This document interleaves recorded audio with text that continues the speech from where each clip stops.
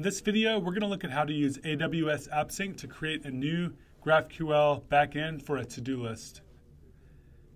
To get started, you need to have an AWS account and go to aws.amazon.com or go to aws.amazon.com and create a new account. Once you have an account, go ahead and choose sign into the console. And we need to use the AppSync service, so I'm going to go ahead and look for that and go ahead and click on AWS AppSync and get started from there. If you've ever been here before and created an API, you'll see a list of the APIs that you've created, and you'll be able to either create a new API or choose one of your existing APIs. If this is your first time here, this screen should look a little different, but either way, we should have this orange Create API button on the top right hand corner of the screen. Let's go ahead and click on that and create a new API. Because this API is a to-do list, I'm going to go ahead and call it to-dos. Underneath the API name, we have an option to either choose a template or a custom schema.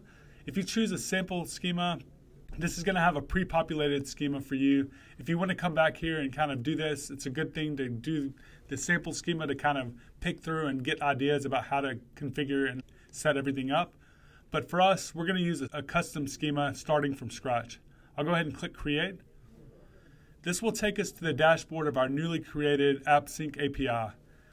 In the API details, we have the API URL. This can be attached to an iOS or an Android or React Native or a web project or whatever type of client that you're using to connect to your new API. We also have an auth mode. This can be either IAM, API key, or Cognito user. I'm going to go ahead and leave it for now at API key. This can be switched though if you'd like to do that by going to settings. Let's go ahead and go to schema and create our first item in our schema. This is going to be a type of to-do. We'll give the to-do an ID, a name, and a completed. The ID is going to be of the ID type, the name is going to be a string, and completed is going to be a boolean. All of the values are going to be required. Next, let's go ahead and create a query. We'll call this fetch to do. This will take an ID and it will return it to do.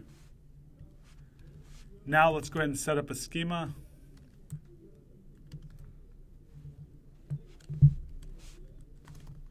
And then the schema will place our query.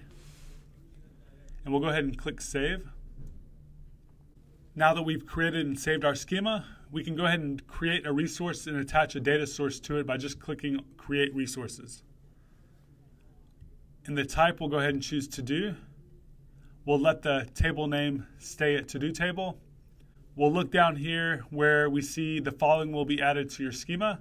And we see that we're going to be getting a lot of new types, queries, and mutations added to our schema. So we're going to have the availability to do things like querying, updating, adding, and deleting items from our database. We'll also have subscriptions set up for us. So I'll go ahead and click create. Now that our resources have been created and our schema has been updated, we should be able to go to data sources, choose to do table, and be taken to the DynamoDB console where our new table has been created and we should be able to click on items and see that no items are there. Let's go ahead and add an item to make sure this is all working correctly. So let's go to schema and let's look at the mutations that we have available to us. We have a create to do mutation that takes an input. The input is a type in and of itself. The create to do input takes an ID, a name, and a completed boolean. Let's go ahead and try that out by copying the create to do, going to queries, and we'll go ahead and do mutation create to do. We'll call create to do, passing in an input. The input is going to be ID. We can hard code a string here for now. Name, and completed. Here we'll just return the ID. To execute the mutation, we'll just go ahead and click on this orange play button. And we see that we get an error saying that our schema is not yet configured for mutations. To fix that, let's go ahead and go to schema, go down to the bottom where we've declared our schema, and let's add a mutation and set that to mutation. And let's go ahead and click save. Go back to queries, execute again, And we see that our to do was created and we have our ID that came back as the return value. Let's go to DynamoDB, refresh, and we should see our new to do that's been created there. Let's go ahead and try to fetch an item from our database now. To do that, let's go to query. Let's go to get to do. And let's try a query of get to do, passing in an ID of the new hard-coded ID that we've passed in for the mutation. Here we'll return the ID, name, and completed.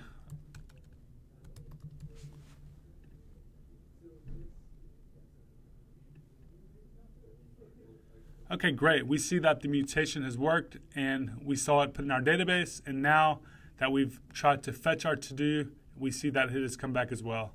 Let's go ahead and add another to do here and try to fetch a list of items.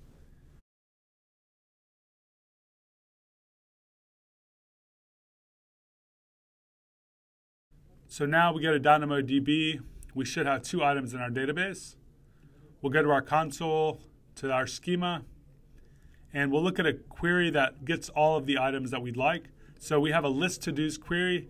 It has two arguments. It could take a first and an after property. The first is going to be basically a paginated value, and then the after also has to do with pagination. It returns a to do connection the to do connection has an items and a next token property.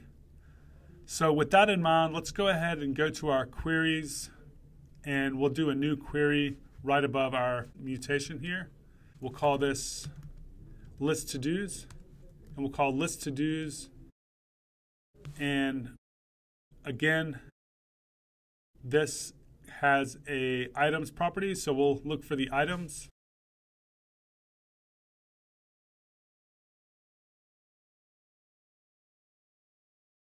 And we'll take the ID, name, and completed property from these items. This should return a list of to-dos. Okay, great. We see that that's working as well. This pretty much sets everything up that we will need for our client. So if you want to know which mutations and queries and things that you have available to you, they're basically all set up here. So if you want to set up a subscription, those are already set up for you. You have your type of to do along with the mutations and queries kind of already set up. So basically, what you'll do with this, you'll wrap your AppSync client and you'll be able to kind of interact with the AppSync database that you've just created. Thank you for watching. If you have any questions, feel free to leave any comments in the YouTube comments or reach out to me directly and ping me. I would love to help you out. Thanks.